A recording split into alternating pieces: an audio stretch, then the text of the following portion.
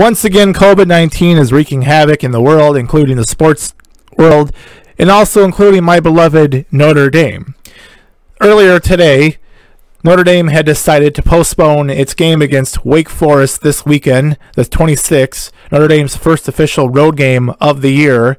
Seven players had been affected by the virus, COVID 19, and decided to postpone the game and stop all football activities until further notice.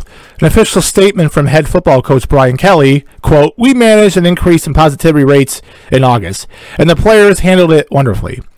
We knew COVID would present challenges throughout the season, and we'll always put student athletes' health and safety at the forefront of our decision making.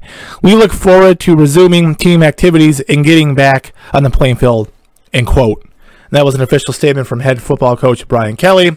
Now, what does this mean? Well, obviously means that there's no football practice, there's no football activities on the university until Notre Dame makes a decision. Notre Dame has not made a statement on when they're going to reschedule this game against Wake Forest. Now, Notre Dame does have a scheduled bye week the first weekend of October, which is October 3rd. And then the following week, October 10th, Notre Dame's next home game would have been against Florida State. Now, that's just over two weeks. We all know the protocols of COVID 19 that you're supposed to be in isolation anywhere between 10 to 14 days. Now, that's a little difficult to do at a university with 4,000 students and living in a dorm, and plus having friends and going to parties and etc. like that because you know co- college students are partying. So this whole thing is a mess. We'll see what happens. I'm not going to sit here and criticize Notre Dame about it. Notre Dame is very uptight about their news about their players. So I will just give you what you all need to know and I'll keep you all informed. But for now, there is no Notre Dame football until at least the next 10 or 14 days.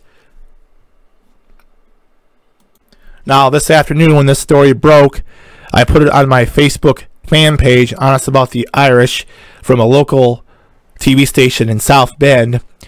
But I wasn't able to talk to you guys through my YouTube channel because unfortunately I was at work. I just got home and I'm presenting it to you guys now.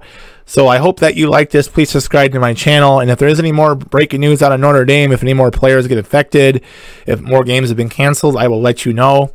And uh, enjoy the rest of your guys' Tuesday. Take care, stay safe, and go Irish.